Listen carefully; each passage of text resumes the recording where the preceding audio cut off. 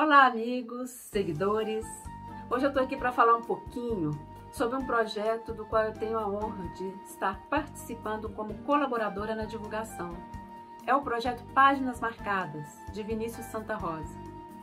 O Vinícius tem feito a divulgação do trabalho de artistas locais por meio da edição de vídeos semanais, em que ele declama os nossos poemas e fala um pouquinho da história de cada um. Nessa semana, ele fez um, um vídeo especialmente dedicado à Semana de Arte Moderna, que foi um evento que aconteceu em fevereiro de 1922. Portanto, estamos agora comemorando 100 anos deste grande evento que revolucionou a nossa arte.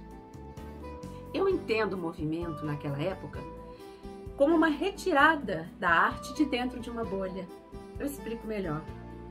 A arte possuía um, um, um conceito fechado dentro de regras pré-estabelecidas. Ela passou a adquirir um conceito mais amplo, mais inovador, mais aberto à criatividade artística.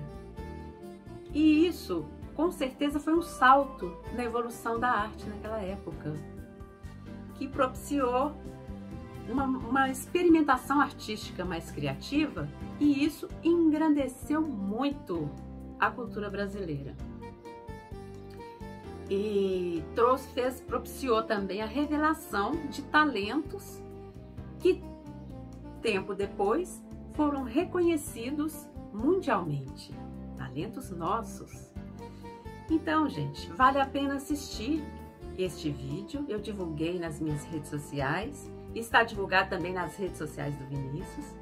Vale a pena assistir, não só este, todos os vídeos do projeto.